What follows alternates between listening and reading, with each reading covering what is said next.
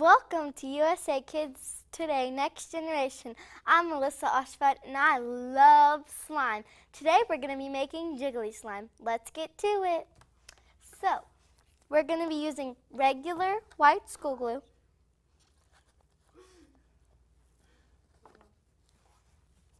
You want to use about a cup.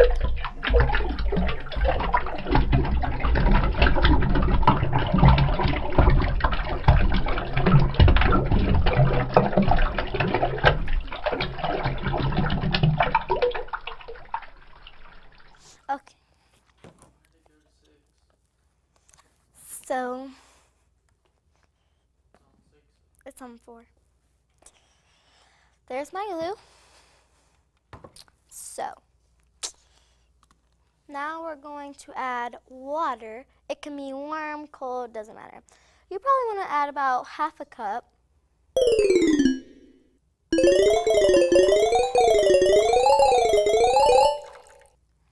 Want to stir that up.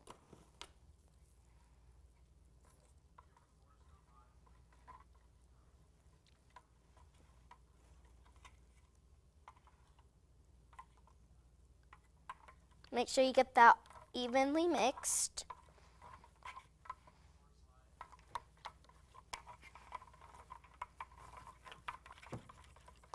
I want to add a little bit more.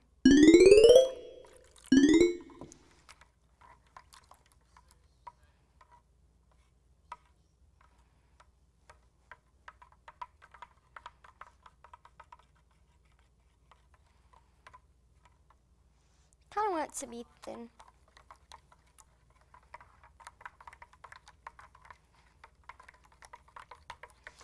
So now this part is optional, but you can add color. You can use paint, but I'd recommend using food coloring because paint kind of clumps up in my experience after a while. So, you're gonna add your coloring. You wanna be careful because you don't wanna put too much in there because it does get on your hands. So, just wanna mix that up. Then you can add glitter if you want to. I'm going to make this yellowish greenish color.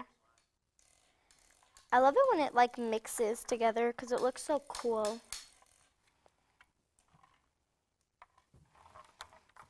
I'm going to thoroughly mix this in.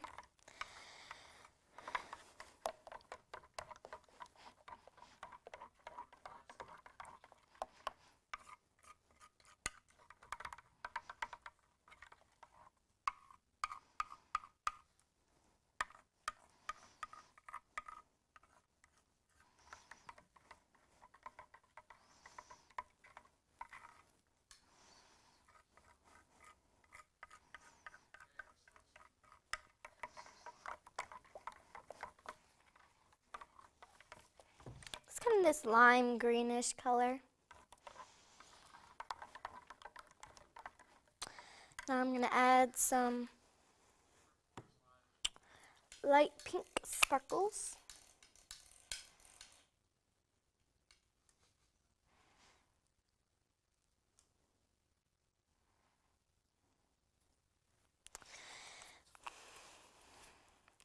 There we go.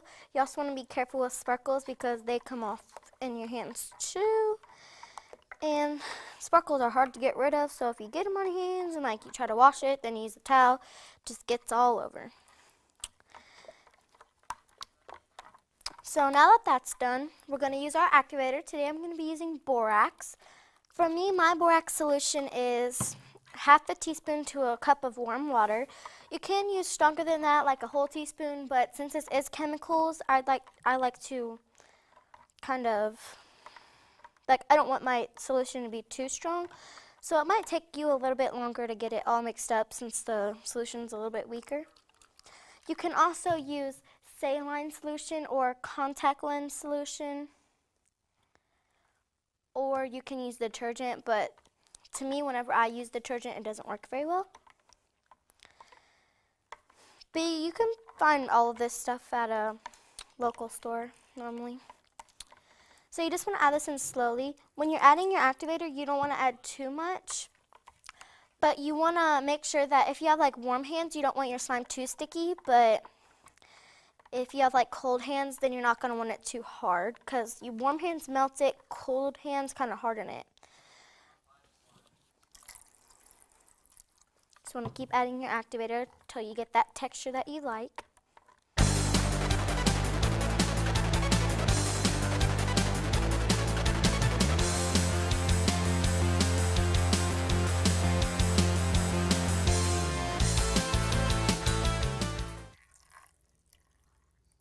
Sometimes it's fun to give your slimes like personalities, like give them some cool names. I think I would name this one, eh, I think I'd name it key lime pie.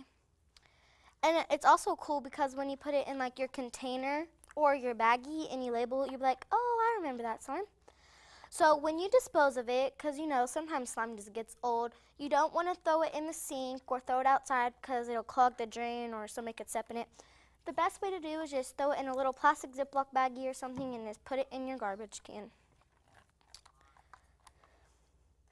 But when you do put it for storage, I like to use containers because you can just easily take the container and play with it while it's in there. Plus it's super easy to get out. But if you have it in a plastic bag, it's kind of hard to get out. Plus you can't really like play with it in the container because like if you try to squeeze it or something in the bag, it'll kind of pop out a little bit. So right about now, I'm going to go with my hand. You never want to go in with two hands when it's still this sticky because you want to have one hand free for that activator. So get all of that off of there.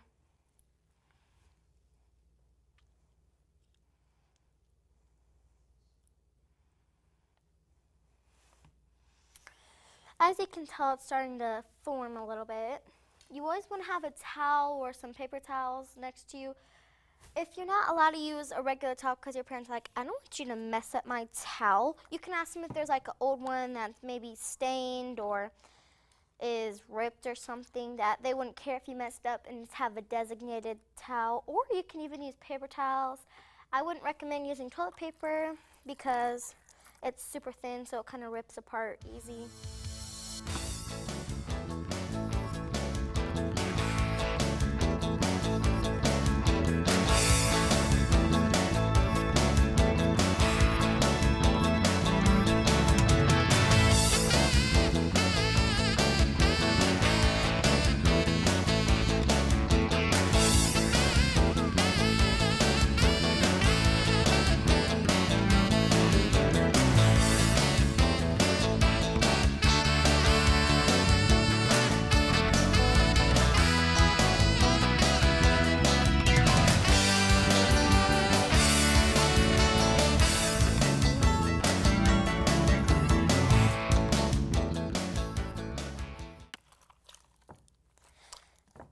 Little too sticky for me.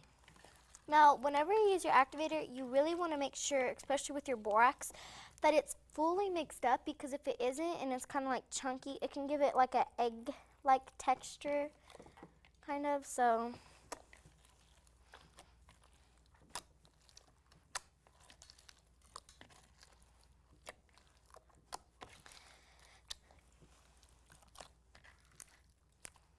You can also add some lotion if it's not that stretchy. Like if you overactivate it, you can add lotion. Uh -oh.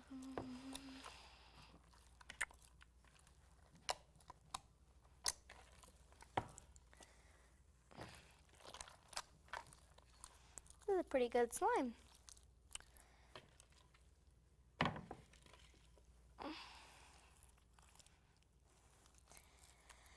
So here is my key lime pie slime. This is Alyssa Osterfeld. Don't get too sticky.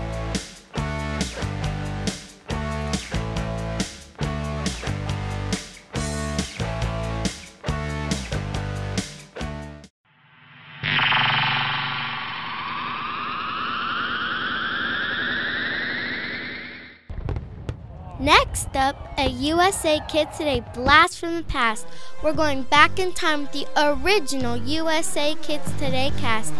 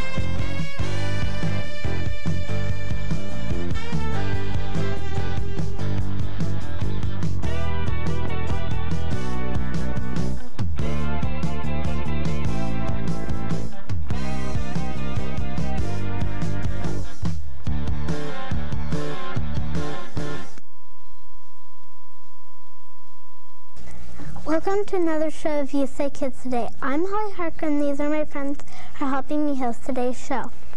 As you can see, we've got a really wild show planned for you today. Well, first let me introduce everyone. This is Laura Martin. Hi. This is Alyssa Ryan. Hi. This is Laura DeVita. Hi. And this is Stephanie DeVita. Hi. And we have a special guest host on today's show, Miss Marsha Bonhart from Channel 2 News. Hello. Thanks for having me here today. You're It's my pleasure. Today we'll be learning about all kinds of exotic pets with Mr. Jeff Embleson from the Super Pet Store. So please welcome Mr. Jeff Embleson to the show. Thanks for having me. And also on today's show, we have Kid Power Report, a calendar report, and a Have You Met My Pet report done by some of the USA Kids Today reporters.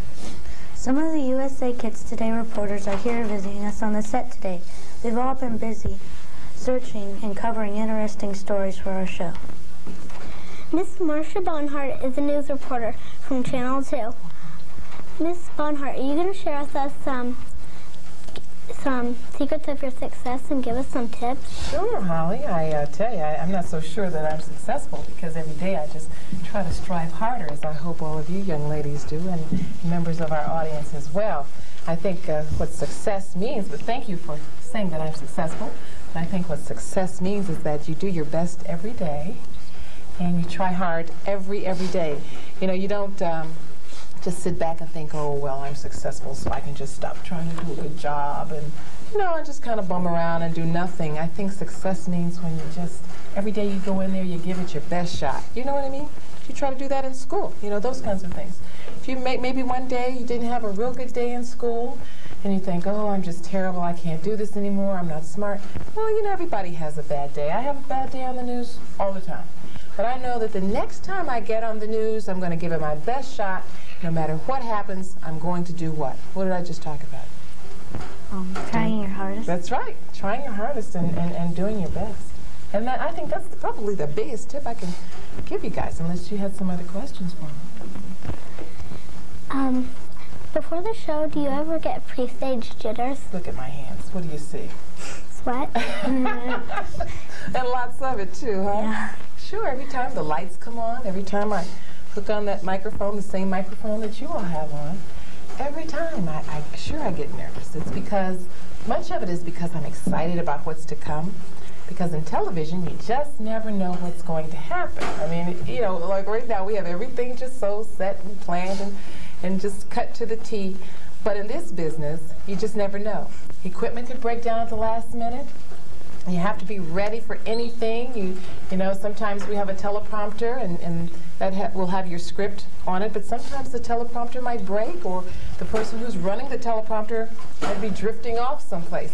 So you're just always keyed up and you always have to be ready. You always have to be prepared. And it's the, for those of you who are Girl Scouts or have been Girl Scouts, you know, that's your, your great motto, be prepared. Well, that is also the motto of life. You know, you just have to be prepared at all times for everything. So yeah, I get nervous and I, my hands perspire and all that good stuff, but it just kind of gets me psyched up a little bit, you know? How'd you get started as a news reporter? Well, it was an interesting situation. Ever since I was much younger than, than you ladies, I always wanted to be a writer. Um, I really didn't want to do television as much as I wanted to work for a magazine. I wanted to work for back back when I was a little girl, Life magazine was a major magazine, and it kind of died out. Now it has come back. But when I was little, I wanted to write for Life magazine. But by the time I got to high school, my high school journalism teacher had another opinion. He decided he should push me towards the broadcast end of journalism. So I kind of reluctantly went into the broadcast end when I went to college. But I didn't really want to, but I'm glad that he kind of, sometimes you need a little nudge from people. They, you, sometimes you don't always know what could be better for you. And so he thought that he knew what was better for me. And uh, actually, he was right. It turned out okay. Do any of your stories affect um, you in your real life? Yes. Many of my stories affect affect me in my real life. I have two children. So anytime that there is a story about children, I become extremely affected, particularly um, if it is a story that is a negative story. And I sometimes have a hard time dealing with some of the things that happen to children, particularly lately. It's, it's difficult for me as a mother. As a human being, first of all, and as a mother. I think I kind of take some of those stories extra personally. What are some of the strangest stories you've ever uncovered? Well, I've had some pretty sad ones in my day, unfortunately. Um, and so that we don't uh, cast a shadow over this broadcast, I will skip over those. I've, I have run into some pretty funny situations, like with animals and, and things like that. And we have birds today, so there's no telling what might happen. I think one of my, my funniest shows probably is when we had uh, penguins on the set one day. And, you know, they sort of have their own personality, and uh, they can be pretty funny little fellows and, and ladies, too. I, I, I sort of like them but uh, they, they kind of do what they want to do, and it's, it's, it's hard to corral them and uh, keep their attention, so to speak. Um, have you ever gotten really scared and while you were in doing the show? Doing a show or doing a new show? Yeah, during the show. Well, not frightened. Uh, sometimes when things uh, sort of fall apart, uh, as I said, equipment failures or lack of communication. You know, we're in the communication business, but sometimes that communication falls down, breaks down. And uh, oftentimes, when, when that happens, the whole show can just kind of crash on you. And, and the only thing that you have in front of you, thank goodness, is your script. That can save you often. So you always have to come out there, as I said earlier, and be prepared, have your script out there, know your material, know what you're going to talk about, and when you know your subject matter, and sometimes you just have to roll right off the top of your head and just start talking, just like I'm doing now. Just start talking. What What do you like best about newscasting?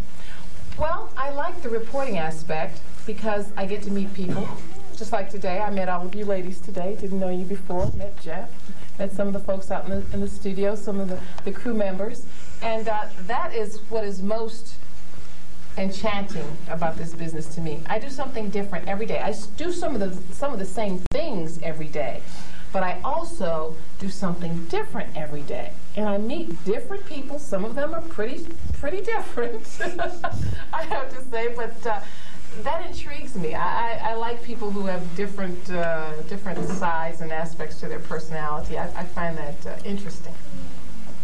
And you have to understand this business, you meet them all. You meet all kinds of people and see all kinds of things, that's for sure. Some good, some bad. We hope you had a lot of fun over the holidays. We did. If you went to any of the Kid Islander events we told you about, you might have seen us around. We did a little bit of reporting on Holiday Fest 95 and things the kids in the Miami Valley did over the holidays. We're going to take a look at that video, and when we come back, have a paper and pencil ready because we're going to give you the list of Kid Islander events.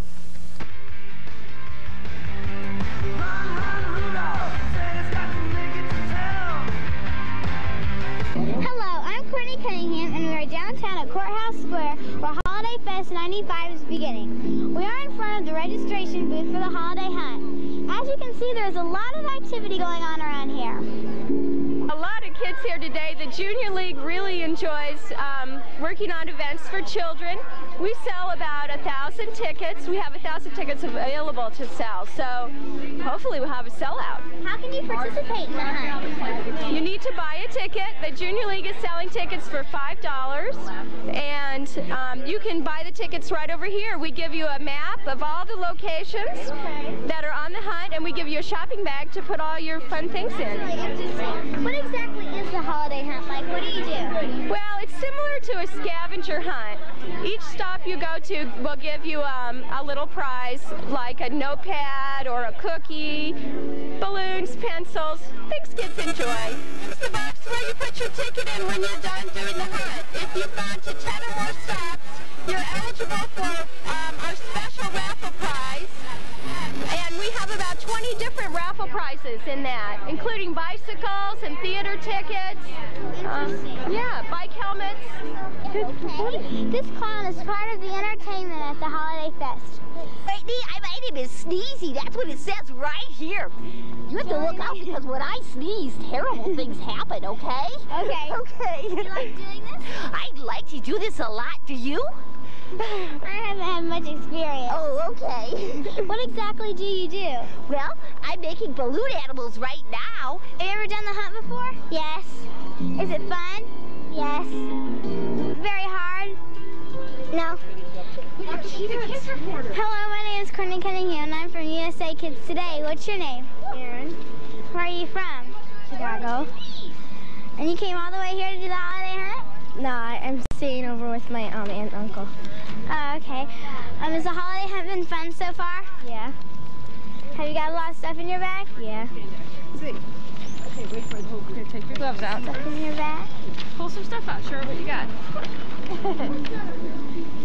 a kaleidoscope. What else? I got a pen and paper. My name is Courtney Cunningham, and I'm from USA Kids Today. What's your name? Forest. How old are you? Five. Have you ever done the holiday hunt before?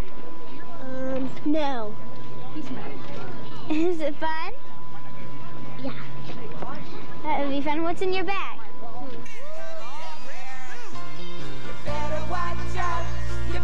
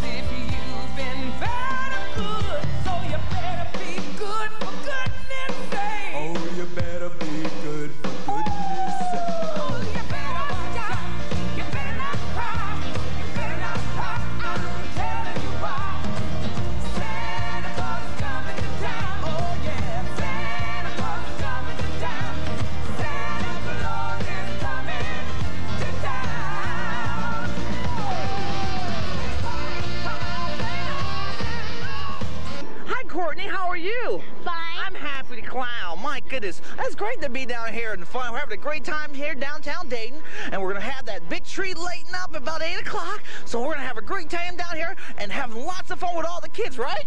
Is Right. Oh, she's zooming in on my nose, isn't she? okay.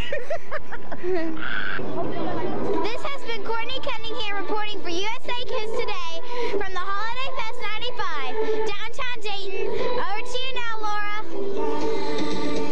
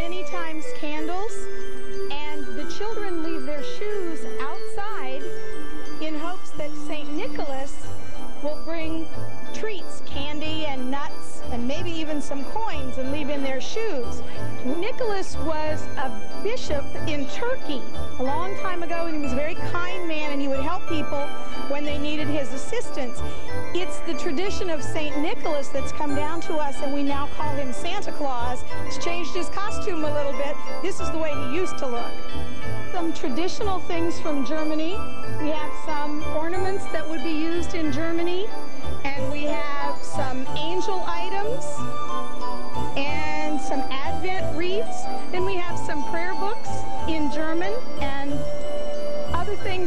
German children would appreciate. Plus, we have lots of homemade apple strudel down there, which is traditional for the holidays. What are you wearing?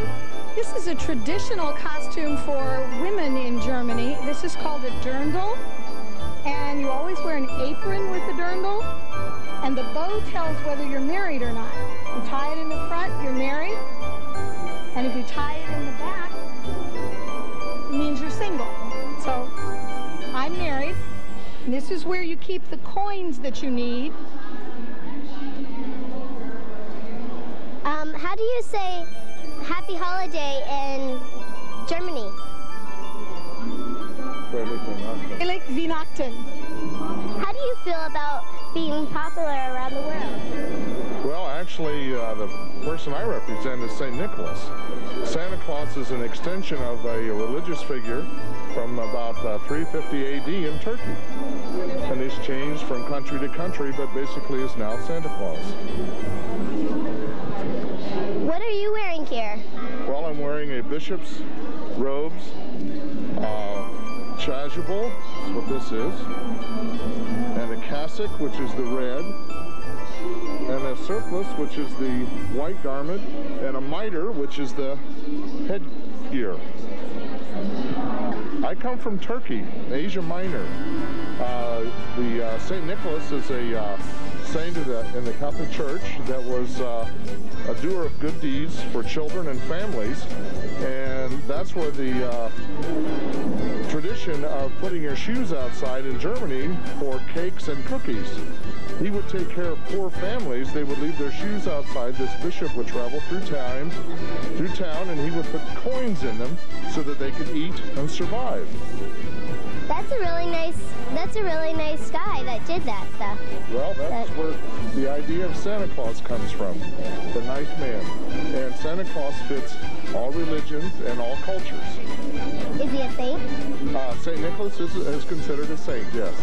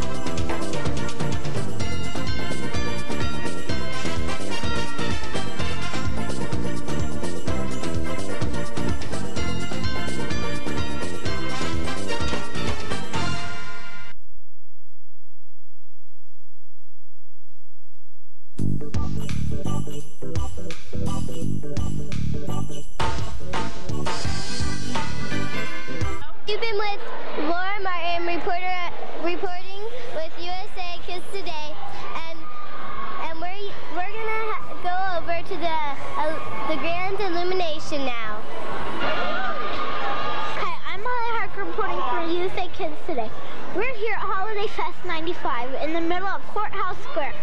I'm here waiting for the grand illumination. Gathering all all over the place to see the grand illumination. It's getting pretty crowded down here in Courthouse Square. There's a band playing. So far we've heard that the the Kettering Children's Corps, tons of tubas, and Norman Norman Bigfoot. Um,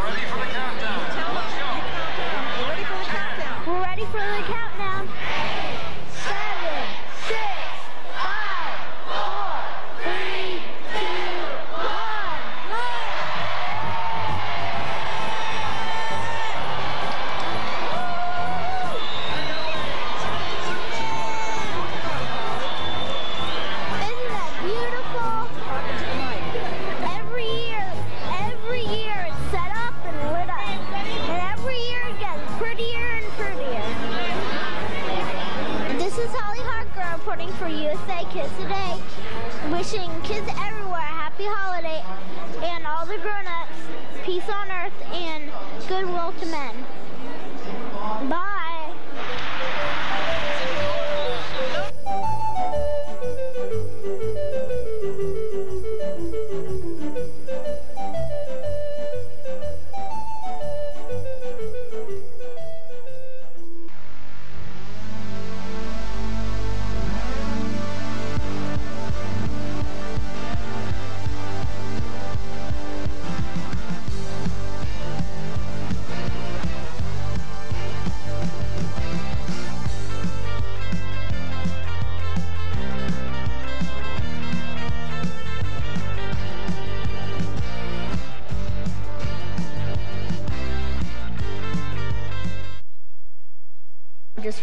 Up to give to little kids at, um, at that are at the hospital, Children's Hospital. We went caroling, and um, some people paid us to carol at their house, and they brought and they gave us some money while we were caroling, and I thought it was really thoughtful of the the kids to, um, thinking of other kids who are in the hospital right now and has to be at the hospital to, for Christmas.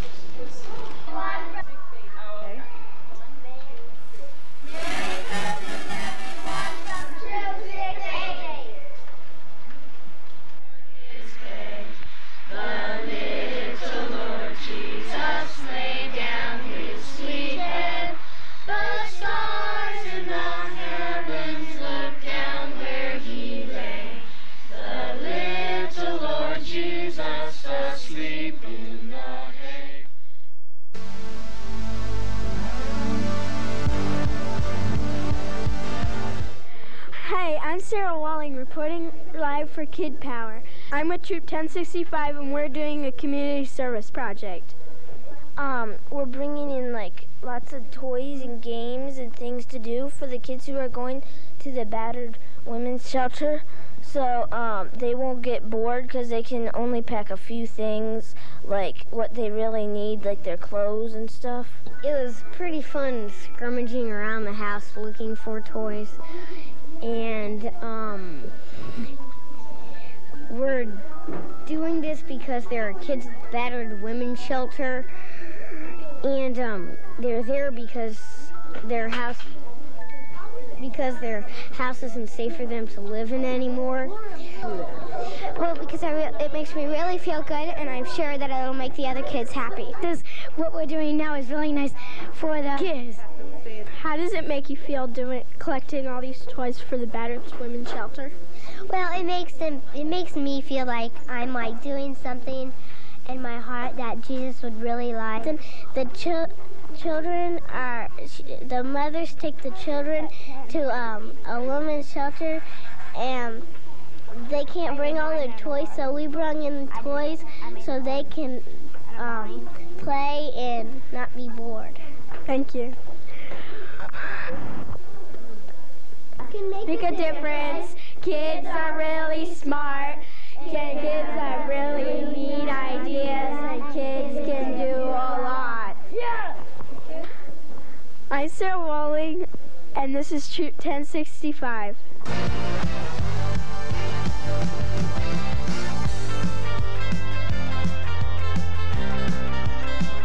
I'm Matthew Pascal at St. Peter's School, and I'm here with the with the student council, and I'm reporting on their food drive. I think that this food drive is important. Well, because there's a lot of people out there that don't have a house or any money to buy food with, and then if we have extra food, it should we should take it upon ourselves to give up what we have for them. Okay, um, how did the student council come up with the idea for a food drive? Um, I think Mrs. Poling got a letter from Catholic Services to find out different things that we could do, and one of them was to donate canned foods, and it's just a nice idea. Where's this food going, and who's going to transport it to where it's going? Um, some of the food is going to Holiday Aid, and the rest of it's going to Catholic Services. And I think that a truck might come from Catholic Services to pick it up, or Okay, and and do you think that this was a good learning experience for the kids here at St. Peter's? Um, yeah, because it gives them kind of an opportunity to figure out what they have to do, like in the world, to help other people and giving food. Oh, uh, uh, what future projects uh, do you think you're going to do? Uh, we're, right now, we're planning to go to a nursing home. We're going to bring Christmas stuff and decorate it, give them cards, sing a couple of Christmas carols to get them in a Christmas spirit. Good.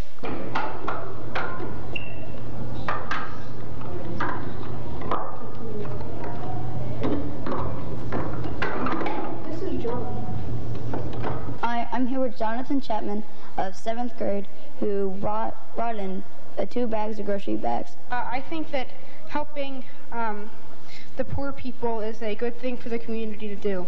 Okay. So I just wanted to be involved. Okay. At St. Peter's School, about eight 800 students participated in a food drive.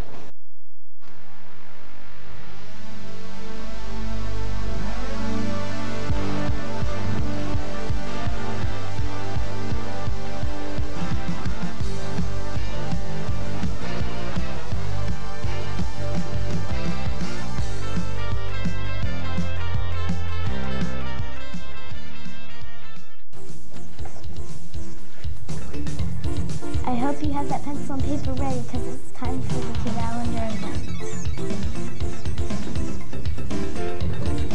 January 26th and February 9th from 6 to 11 p.m. at Wright State University is Kids Night Out.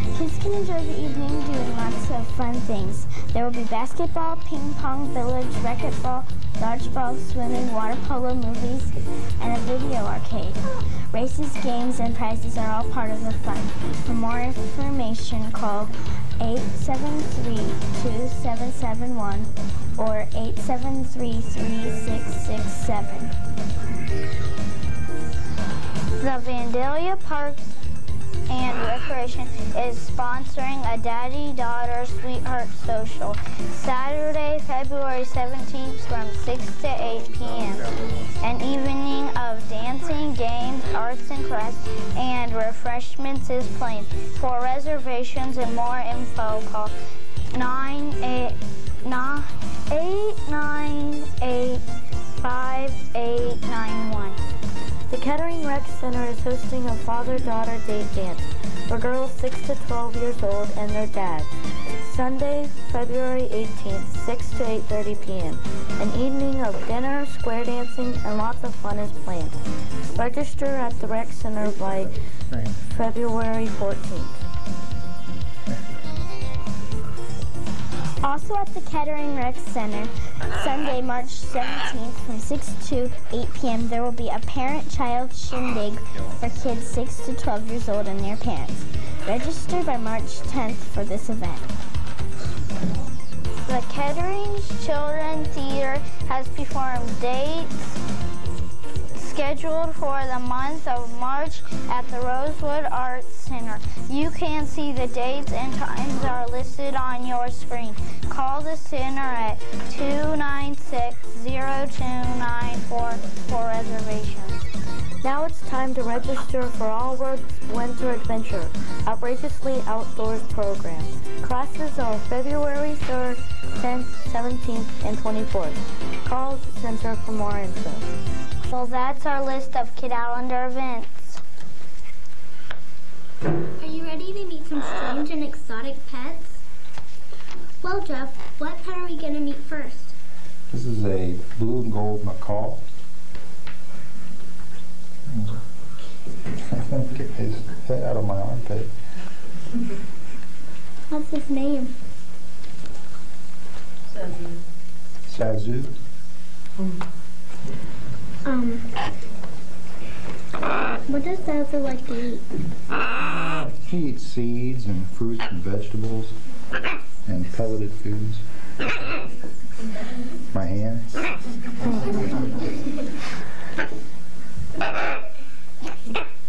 Being uncooperative today. I think he's going to stay on this arm. Dazzler say anything? Uh, most of your parrots have a pretty good vocabulary. He hasn't started talking yet. How old are they when they start to talk usually? Usually he'll start hearing uh, some kind of words, anywhere from six to eight months. We also have another kind of macaw over here that Matt has. He's another livestock manager.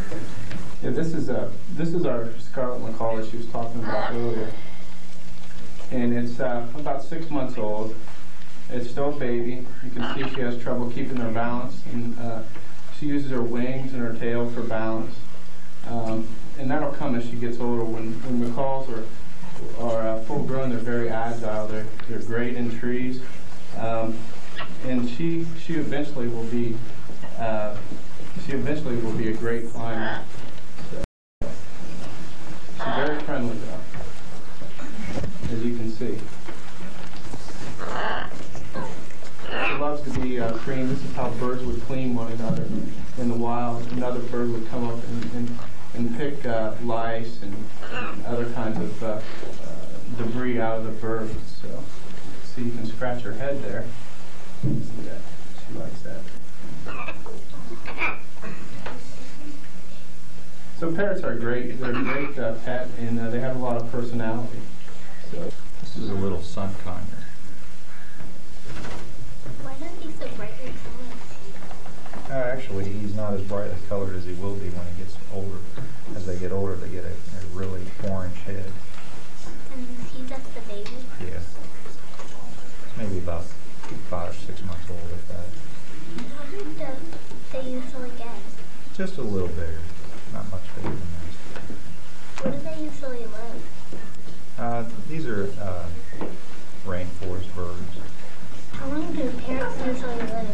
Parrots can live, you know, 75, 80, even 100 years. Your macaws are long lived. Well, um, it's time for Have You Met My Pet? Our report has a special message in it, so stay tuned, and when we return, we'll meet some more super pets.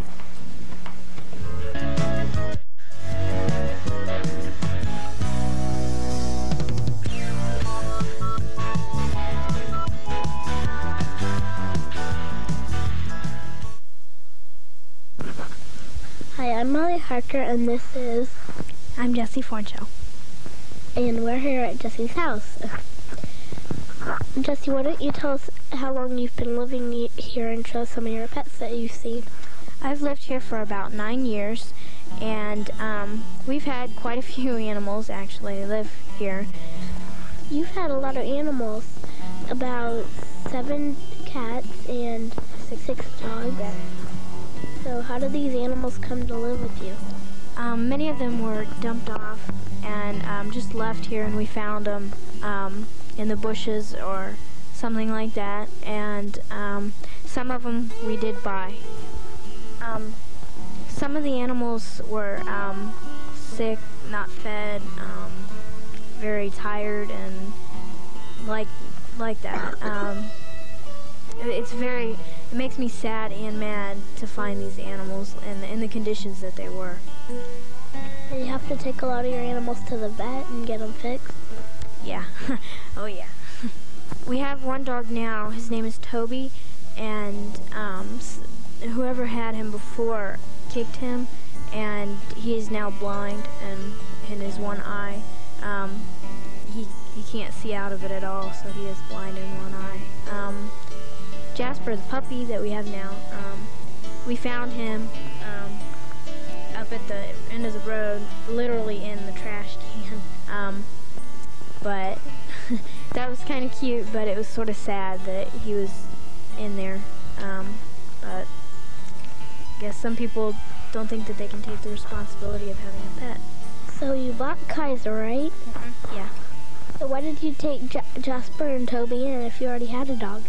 Well, Toby, we wanted to take him in because he was blind in one eye, and um, we wanted to take care of him so that he wouldn't get sick, and we didn't think that he could live on his own. Um, and we got Jasper because um, we we were looking for a dog about the time that Jasper came, and um, so and a small dog so he could come in the house, and um, so it sort of all worked out because then Jasper came and now we can put it, let him in the house and everything. So We've got some house dogs and some house dogs and some inside dogs. I mean, house dogs, outside dogs, and inside dogs. yeah, um, Jasper is an inside dog, and Toby and Kaiser are both outside dogs, and the cats are indoor and outdoor. So they're kind of mixture. They like to go inside and outside. What happened with Randy is um, uh, he one day um, that we found him and he was just wandering around, and then we kept and he stayed for a week, and then a week later he left, and then a week later than that he came back with a pregnant dog, Maggie, and so she had her puppies and um, we we kept her. We found good homes for um, her puppies, and then we uh, spayed her. We got her spayed. Um, that's what that was the whole problem. She wasn't uh, spayed. She didn't. Um, whoever had her didn't really take care of her in that sense. Um, so we took care of her, and we kept her, and we found good homes for her puppies, and then that's about it. And then we found Jasper and um, it liter- liter- literally in the trash can. So that that's where we got Jasper. And and oh, another about Jazz. Um, he was flea infested. Um, he had fleas from one end of him to the other. He was just he, he had fleas all over him. It was it was horrible. So we gave him a bunch of baths. Um, he needed it, but whoever had him did not take care of him. And then when they dumped him off, then we found him. So we, then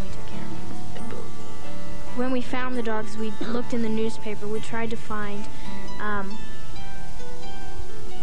people who uh, were who put an ad in there for a missing dog, and we never did find any um, for any of the dogs that we've had. So um, we don't really know what happened, if they purposely did it, or if they did it and then didn't put a missing ad or what. But we did look After talking with Jesse, I wondered how many other animals are out there that need to be rescued. So I went to the Montgomery County Animal Shelter to find out more. At the animal shelter, I met the director, Stephanie Smith. I told her my story about Jessie and how she saved all those dogs and cats. While we were there, we had a tour of the animal shelter.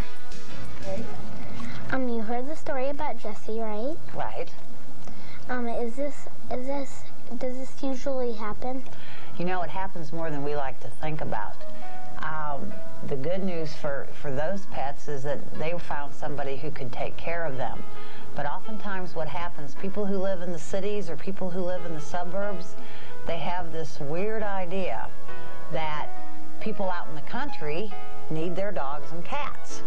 So if they have a dog or cat that they feel they can't keep anymore, they'll drive out in the country, open the door, and toss the animal out, and either assume that someone who lives out there is going to take it in, or assume that the animal could live on its own, and neither of those things happen very often. So it happens more than we like to think about it happening. But those animals were lucky animals that found that home, but not everybody's going to be able to do that. How many animals usually come to the um, animal shelter about a year, every year? We pick up a little over probably six or seven thousand a year that are loose on the streets. And then there's another probably a thousand to fifteen hundred that the owners will actually bring into the shelter and turn them into us because they can't keep them anymore. That's what we want people to do. We don't want people to take them out in the country and dump them. So, how did you get Buddy? Well, Buddy, come here, bud. Come here. Come on over here. Come, Come on, Call him Buddy. up there. Up there. Buddy. Get him up there. Buddy's one of the dogs that came in off the street. He was running loose in a neighborhood, and someone called us because they didn't recognize him. They didn't know whose dog he was. And we came and got him, and we kept him. He wasn't wearing a license.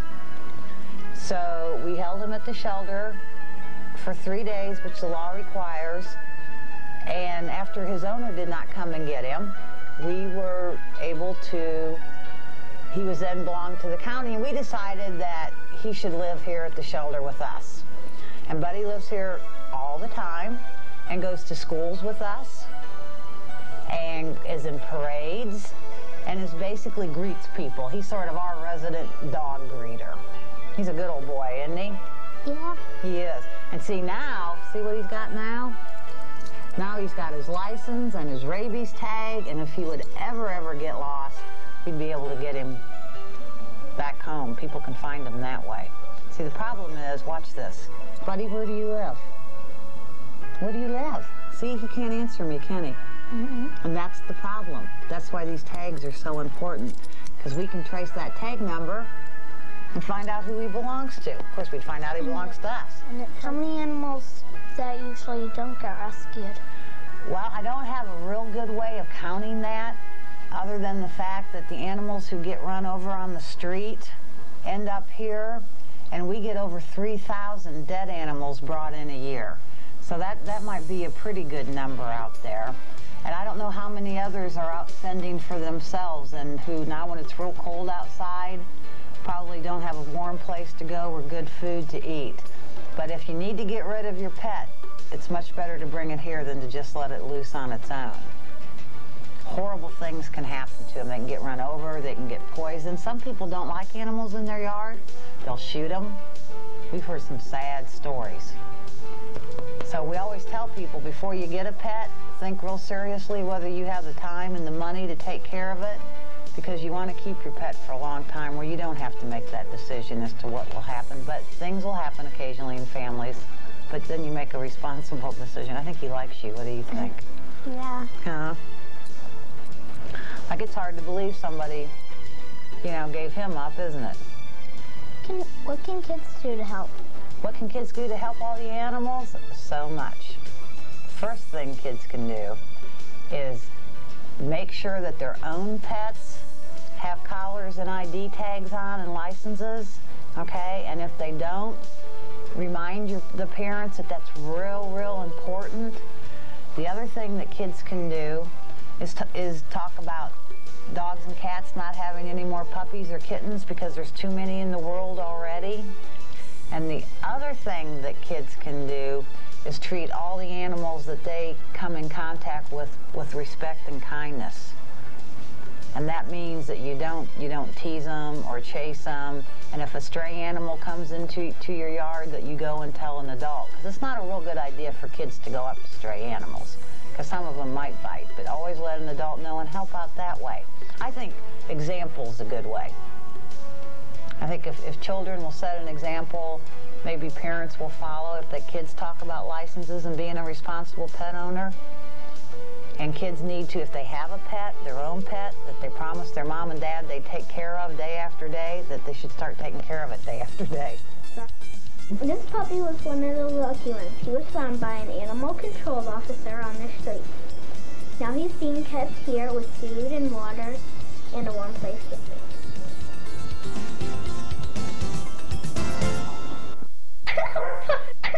Taking care of your pet, what a message, not neglecting them. There's so many ways that you can abuse an animal. Sometimes there's the direct abuse that means the hitting and, and actual torture of an, of an animal. And then there's the indirect abuse, and that is when you don't give them enough food or you don't give them enough attention.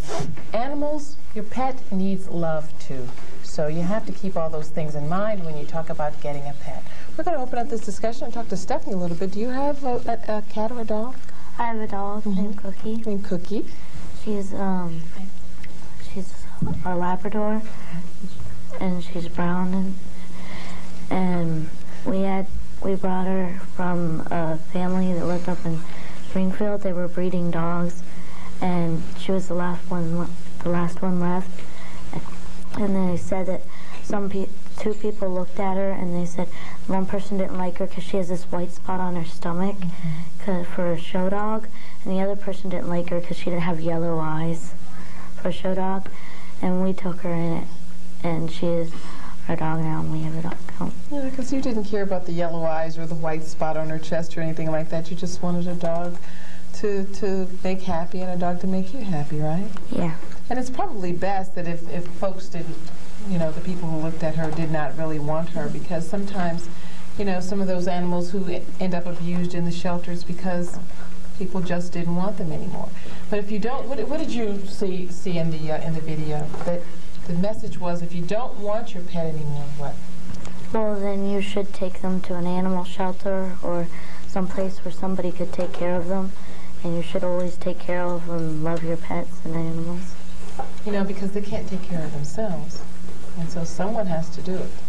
It's really sad when you see a lot of them who are, are stray in the streets and are just running around and, and have no one to take care of them. And they're obviously suffering from malnutrition and some of them have broken bones, maybe a, a limp in, in, in their leg or something like that. And that, that makes me very sad. Animals should be respected like people should. That's right. What kinds of things do you do for Cookie? Well, I give her her food and water every day. I play with her sometimes, but not lately since it's been snowy. Mm-hmm. But when she comes inside, and she she likes to get her tummy rubbed, and it's a little tub of rub her tummy. Mm-hmm. She she's just cute. Okay, thank you, Stephanie. Right now, we have some exotic animals, some really different kinds of pets that we're going to talk to Jeff from Super Petz about, right? Yep. This is a chinchilla. Come from Himalayan mountains. So, soft. They're awfully small. I don't. I think we've all heard of chinchillas, but I, I didn't uh, didn't know they were that tiny. I guess I, I thought it was a much larger animal. They will get a little bigger, but not much larger than this. Do most people keep chinchillas as, as pets? I don't see them running around much. That's for Uh, sure. you probably won't see as many as you uh, of chinchillas as you will rabbits, but a lot of people keep them. it is in the rabbit family. It's a type of rodent, yeah. Okay. Let's hold it up and get another look at it. How about you, ladies? Have you ever seen a chinchilla? No? I have. I've seen one, a lo- what my teacher had, like a little one, had like a small one, was, and it's called um, Bible. Jeff, does this one have a name? Uh, we're calling him Willie. Okay.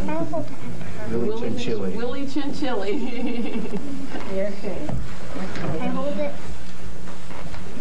Um, Laura over there, Laura Martin. Uh-huh. She just got her little chinchilla named Chili. Oh, so you have a chinchilla by the name of Chili, huh, Laura? Mm-hmm. Okay. It's a baby. And we have another exotic pet here. Yeah, a this is- hedgehog. This is an African hedgehog, and you can see he's kind of shy. Uh, when he gets scared like that, he balls up into just a big uh, ball of, of spines. But when he lays him down, you can pet him. Um, it's a, a domestic animal. They've been domesticated uh, through years, but uh, um, he's cute. And that is what you call a pygmy, African hedgehog. African pygmy hedgehog. Right. What is the difference with this? When you say pygmy, obviously it's smaller than others. Right. There are there is a, a, another uh, type of hedgehog which is, is quite larger. That's the one we know, Sonic. Yeah. yeah. Sonic the Hedgehog. Right. This one, I, I touched, I touched his uh, his hair or his fur, Uh-huh. whichever, and it, it felt as if you had mousse in it. It's a little stiff, almost almost like a porcupine. Right. The quills are very sharp and hard, and uh, if an animal was to, to bite down or, or, or clamp onto this, uh, it could break off and, and cause a, a irritation. So uh, they need to be handled with care, and you shouldn't just pick them up and toss them around. That's for sure. So I guess their their fur is a form of defense against the enemy, Right. so to speak. Yes. Yes, it is. They can ball up and actually hide their whole face. And just And blend in with the environment, and you might not even know they're there. That's right. They're good little pets, though. They're great. Now we're looking at something. We just saw a shot of uh, something on someone's shoulder. What was that? Ah, yes. What do we have there? I don't know if you can uh, see this. This is an Australian bearded dragon um, from Australia, a desert animal.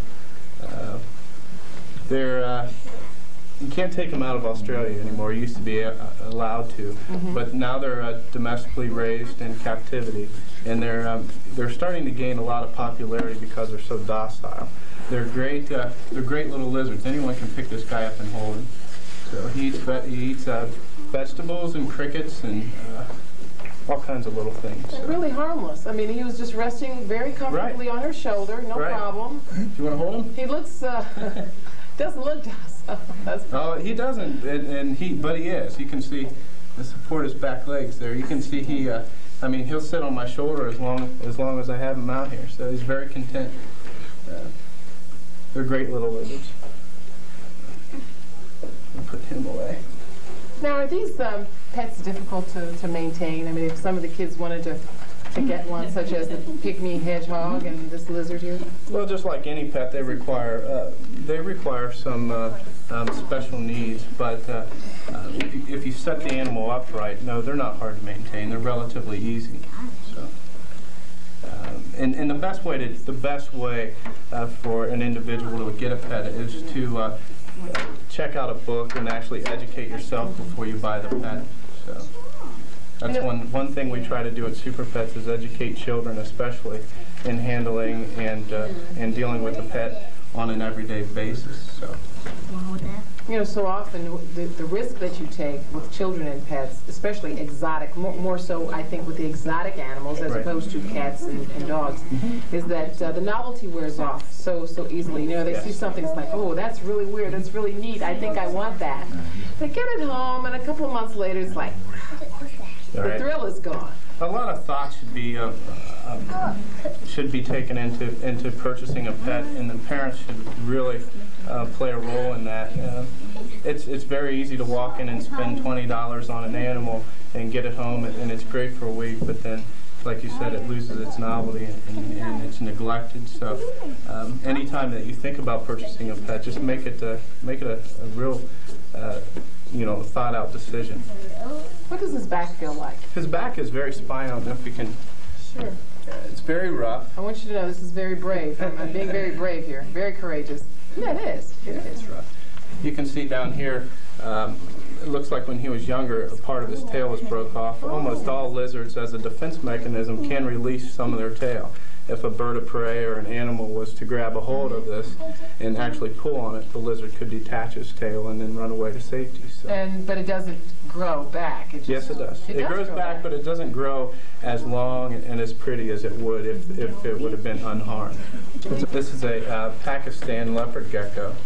Uh, you can see, oh yeah, he's beautiful. Very delicate skin. Uh, it's a desert animal again. Um, the geckos there's, uh, have little claws on them. They can climb rocks. Uh, great for sand. It's just a beautiful lizard. I don't know if you can see that. Sure. Very, very pretty. And of course, you call it leopard because it's spotted. Right, they're spotted. When they're juveniles, they actually have a banded uh, a pattern, but as they get bigger, they uh, spot out and they get that nice yellow color. So this is a very healthy, beautiful animal. Yeah, these are guinea pigs. I think everyone's seen them. Sure. And these were raised by one of the ladies that's a livestock manager. and they've been handled all their life. They're not cooperating right now, but they're good once they get up. you can hear them squeal. But they've been, um, these guys have been raised and handled all their life, and once you get them in your hand, they, they normally calm down. This is a great child's pet. Uh, very durable animals, um, and relatively long-lived for rodents. Um, and they, they take uh, they take care, but they're not uh, a constant need like some of the, some of these other animals are. They're great little animals. So. This one has long hair. Just, just some of them come with shorter hair. Yeah, some of them come with short hair. Some of them come. Uh, you can see, oh yeah, he's beautiful. Very delicate skin. Uh, it's a desert animal again. Um, the geckos, there's uh, have little claws on them. They can climb rocks. Uh, great for sand. It's just a beautiful lizard. I don't know if you can see that. Sure. Very, Get a very tight pretty. shot on it, maybe. And of course, you call it leopard because it's spotted. Right, they're spotted. When they're juveniles, they actually have a banded uh, a pattern, but as they get bigger, they uh, spot out and they get that nice yellow color. So this is a very healthy, beautiful animal. Yeah, these are guinea pigs. I think everyone's seen them. Sure. And these were raised by one of the ladies that's a livestock manager. and they've been handled all their life. They're not cooperating right now, but they're good once they get up. you can hear them squeal. But they've been, um, these guys have been raised and handled all their life, and once you get them in your hand, they, they normally calm down. This is a great child's pet. Uh, very durable animals, um, and relatively long-lived for rodents. Um, and they, they take uh, they take care, but they're not uh, a constant need like some of the, some of these other animals are. They're great little animals. So. This one has long hair. Just, just some of them come with shorter hair. Yeah, some of them come with short hair. Some of them come with uh, actually crinkled hair, uh, long hair, short hair. There's all different types of breeds. So it's neat. Would you say that a guinea pig is a, is a good way to start a younger child in terms of caring for a pet before you take another, a, a bigger step such as a dog or something like that? I would say that guinea pigs are, are great uh, beginners pets. Um, like I said, they're, they're put together, they're little tanks almost, but uh, that doesn't say that they should be handled rough. Right. But uh, f- for young kids, they're great. They're a lot. Erica, you were on our last show, right? Mm-hmm. And you had your guinea pigs. Mm-hmm. Has Huggles had her babies yet? Nope. We're still waiting. Still waiting on the birth of the guinea pigs, huh? I don't know. Maybe she's maybe she's just fat. You mean you weren't sure if she was going to have a baby or We not? went to pet store and it says she's pregnant. Maybe she isn't. How long are you supposed to have to wait? She sure had them on Monday a long time ago. Okay. Well, sometimes those babies aren't always on schedule, you know? Well, gosh, uh, did you guys get all of your questions answered about these exotic pets? Everybody? Anything? they- These are some more, more, more of the unusual pets that uh, you might or might not just kind of have around your house very often, huh? Well, except for the rabbit, maybe, and maybe the, the pygmy hedgehog or something like that. But normally we don't keep tarantulas hanging about in the house in a little cage, you know? Just about out of time. And uh, I want to tell the folks from Super Petz, Nat and Jeff, that we really appreciate your time and for sharing these animals with us. We've had all kinds of animals, from birds to tarantulas, and we've learned so very much about what they eat and the kinds of things they do to protect themselves. Some of these, some of these stories I've never heard. You know, I didn't realize uh, that the, the, the bigger spiders, the tarantulas, actually, you know, kick off little hairs uh, into a cloud of dust to protect themselves. Protect themselves. So we have all learned so very much today, and I thank uh, the audience for being here, and of course the folks at Super Petz. And right now, I'm going to turn this over to Stephanie. Well, we're all out of time, and we want to thank our guests for coming. Thank you, Jeff and Matt Allen, for bringing in the Super Petz. Thanks for having us. Thank you, Marsha, for being on the show with us. Thanks for having me. I enjoyed it. Thank you, all you USA Kids Today reporters, for your great stories. And you, our audience, for watching. Hope you enjoyed the show. Remember, kids can make, a, difference. Kids are really smart. Kids have really neat ideas, and kids can do a lot. You've been watching USA Kids Today. See you next time. Bye. Bye.